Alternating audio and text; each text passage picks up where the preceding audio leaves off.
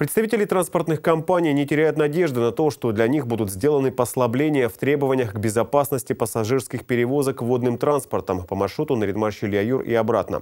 Владельцы трех компаний-перевозчиков направили в адрес окружной администрации письменное обращение с просьбой выйти с этой инициативой к Министерству транспорта Российской Федерации.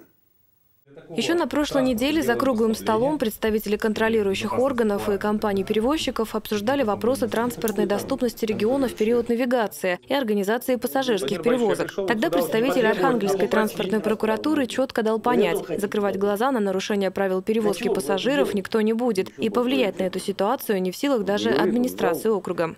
Уголовное право у нас по Конституции относится к ведению Федерации, и регион, и какая администрация округа, какие-либо а, иные структуры надзорные в сфере транспорта тут ничем помочь не могут. Установлена ответственность, я так понимаю, здесь в основном идет по 238 статье нарушения а, требований безопасности Поэтому в этом плане, конечно, здесь никаких послаблений быть не может. Также и в административной ответственности то же самое. Перевозчики убеждены, если округ выйдет соответствующей инициативой к Минтрансу, то, возможно, для нашего региона будут сделаны особые условия, учитывая специфику транспортной доступности региона. В адрес администрации округа владельцы транспортных компаний направили коллективное обращение. Обращение это есть о том, чтобы именно действительно не, не привлечение их к уголовной ответственности, угу. но никто не будет, не возьмет на себя Минтранс угу. да, такую ответственность. Понятно, что легче этот вопрос поднять о том, что давайте э, мы закроем глаза правоохранительных органов угу. и будем кататься, э, как катались раньше, угу. как ездили раньше. Но такого мы понимаем, что не будет. Вопросы организации пассажирских перевозок в период массовых летних отпусков неоднократно поднимались руководством НАО в ходе оперативных совещаний. По словам Александра Цибульского, вопросам безопасности власти округа уделяют повышенное внимание и нарушать закон не намерены.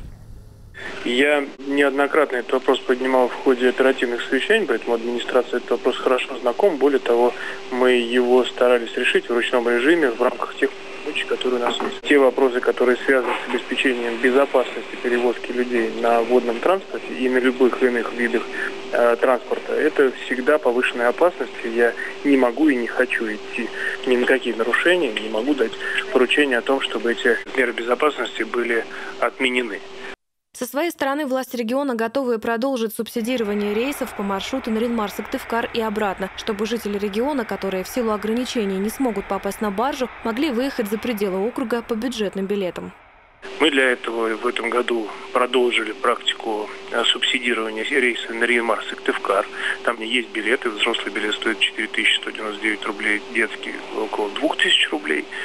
А, это та мера, на которую мы пошли, и большую часть э, себестоимости этого перелета мы берем на э, плечи, на бюджет округа. Надеемся, что это сможет помочь людям уезжать на летний отпуск и использовать баржу в качестве э, средства для перевозки. Летом рейс до Сыктывкара будет выполняться два раза в неделю. В случае необходимости компания Коми Авиатранс ведет дополнительный рейс по данному направлению, который будет субсидировать округ. Ирина Нежалова, Вадим Стасюк, Владислав Носкин, телеканал «Север».